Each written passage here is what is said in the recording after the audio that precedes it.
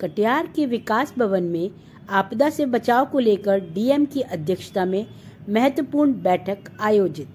प्रशिक्षण कार्यक्रम को संबोधित करते हुए जिला पदाधिकारी द्वारा सभी पदाधिकारी गण एवं कर्मियों को आपदा की घड़ी में आम जनमानस को जागरूक करते हुए मदद पहुँचाने की बात कही गई, जिससे कि आम जनमानस का कम से कम नुकसान हो। उक्त अवसर पर 9 बीएम एनडीआरएफ बीटा पटना के एनडीआरएफ के Shri Santosh Kumar Yadav, assistant commandant INSO Shri Ram Kumar, IN inspector Shri Suraj Kumar एवं प्रशिक्षित पदाधिकारियों के द्वारा आमजनों को किसी भी आपदा के समय राहत एवं बचाव काव से किस प्रकार से जान व माल को बचाया जा सके, इस संबंध में प्रत्येक बिंदुओं से अवगत कराते हुए विस्तृत जानकारी प्रदान की गई। ताकि आपदा के समय अधिक से अधिक जान व माल को सुरक्षित किया जा सके और आपदा के समय होने वाली क्षति को कम किया जा सके।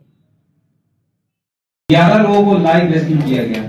कितना ही भयावह स्थिति हो सकता है। संजय तिवारी के पास।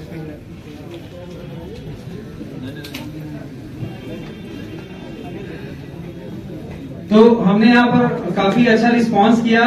और हमारा कोऑर्डिनेशन चाहे स्टेट के साथ हो डिस्ट्रिक्ट के साथ हो नेपाल में काफ़ी आपदा होती है तो जितने भी हम जिस भी संस्था से जुड़े हुए हैं हम सभी का काम ये होता है कि आप जितना सहयोग कर सके अफवाह ना फैलाएँ और जो भी इस हादसे के शिकार पीड़ित व्यक्ति है उनको सबसे पहले निकाला जाए।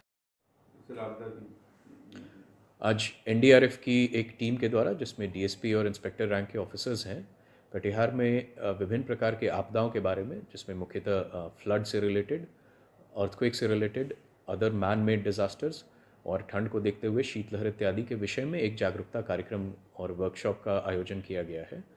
उसमें सभी प्रतिभागी जो हमारे क्षेत्रीय पदाधिकारी हैं कलेक्ट्रेट और अन्य विभागों के जितने भी कर्मचारी, लिपिक इत्यादि हैं, उन सभी को तथा आपदा मित्रों को यह प्रशिक्षण दिया जा रहा है ताकि आने आ, आगे आने वाली किसी भी तरह की अगर कोई भी आपदा की स्थिति होती है तो उसके विरुद्ध रिस्पॉन्स के लिए रिस्पॉन्स के टाइम को लिमिटेड रखने के लिए वो बेटर इक्विप्ड और बेटर प्रिपेयर्ड रहें।